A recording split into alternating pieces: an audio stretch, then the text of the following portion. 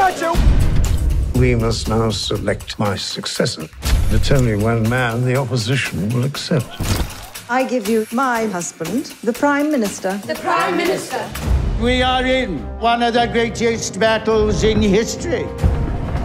Winston Churchill, he's getting it from all sides. We may have to replace him. He stands for one thing himself. He's got not only fighting in his cabinet, but he's about to go up against Adolf Hitler, and he's also got the worry of losing all the troops. How long have they got if we don't rescue them? We would need a miracle to get our men out. Winston Churchill is such an enormous figure in British history. Operation Dynamo waits on your command. Initiate.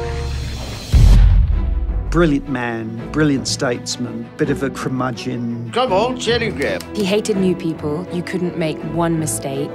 Were you not briefed, young lady? You basically were on the whole time on duty whenever he felt his inspiration. He wrote more words than Shakespeare and Dickens put together. No one can put words together like you. Kennedy said that Churchill mobilized the English language and sent it into battle. What is our aim? I say it is to wage war by sea, land, and air with all our might.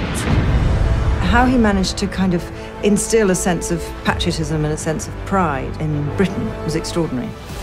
Freedom unites us all. We shall defend